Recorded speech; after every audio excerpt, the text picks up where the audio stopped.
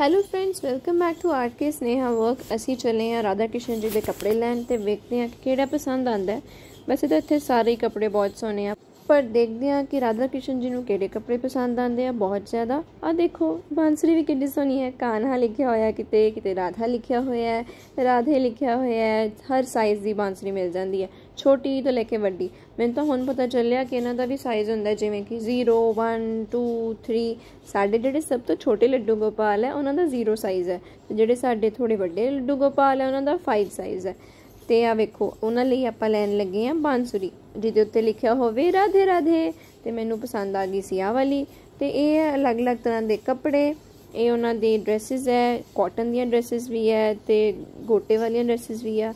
ਪਰ ਹੁਣ ਉਹਨਾਂ ਦਾ ਬਰਥਡੇ ਹੈ ਨਾ, ਇਸ ਲਈ ਆਪਾਂ ਕਾਟਨ ਦੀਆਂ ਡਰੈਸਸ ਨਹੀਂ ਵੇਖਾਂਗੇ। ਪਰ ਆਪਾਂ ਦੇਖਾਂਗੇ ਸੋਨੀਆ ਜੀਆਂ ਗੋਟੇ ਗੁੱਟੇ ਵਾਲੀਆਂ ਕਿਉਂਕਿ ਬਰਥਡੇ ਹੈ ਬਰਥਡੇ ਤਾਂ ਸਭ ਤੋਂ ਸਪੈਸ਼ਲ ਹੁੰਦਾ ਹੈ ਇਨਸਾਨ ਦਾ ਤੇ ਇਹਨਾਂ ਪਰ ਉਹ ਭਗਵਾਨ ਹੈ, ਉਹਨਾਂ ਲਈ ਕਿੰਨਾ ਸਪੈਸ਼ਲ ਹੋਊਗਾ।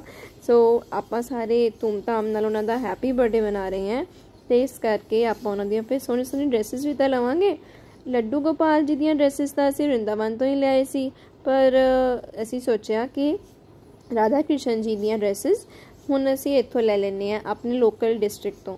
ਕਿਉਂਕਿ ਉਹਨਾਂ ਦੇ ਕੋਲ ਨਵੀਂ ਹੋਰ ਕੱਪੜੇ ਨਹੀਂ ਹੈਗੇ ਸੀ। ਫਿਰ ਹੁਣ ਅਸੀਂ ਉਹਨਾਂ ਦੇ ਕੱਪੜੇ ਲੈਣ ਚੱਲੇ ਆ ਇਹ ਤੇ ਕਾਟਨ ਦੇ ਹੀ ਹੈ, ਪਰ ਅਸੀਂ ਵੇਖਾਂਗੇ ਕਿ ਉਹਨਾਂ ਨੂੰ ਗੋਟੇ ਵਾਲੀਆਂ ਅਲੱਗ-ਅਲੱਗ ਕਲਰ ਦੀਆਂ ਡਰੈਸਸ ਲੈ ਕੇ ਦਈਏ। ਤੇ ਜਿਹੜੀਆਂ ਕਿ ਆ ਪਈਆਂ, ਇਹਨਾਂ ਵਿੱਚੋਂ ਵੇਖ ਲੈਨੇ ਆ ਇਹ ਤਾਂ ਲੱਡੂ ਗੋਪਾਲ ਦੀਆਂ ਕ੍ਰਿਸ਼ਨ ਜੀ ਦੀਆਂ ਤੇ ਹੈ ਹੀ ਨਹੀਂ।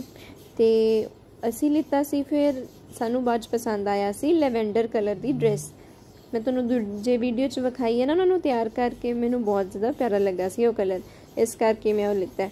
ਇਹ ਜਿਹੜੀ ਡਰੈਸਸ ਆ, ਇਹ ਲੱਡੂ ਗੋਪਾਲ ਜੀ ਦੀਆਂ। ਉਹਨਾਂ ਦੀ ਡਰੈਸ ਦੇਖਣ ਲਈ ਤੁਸੀਂ ਦੂਜੀ ਵੀਡੀਓ ਜ਼ਰੂਰ ਵੇਖਿਓ।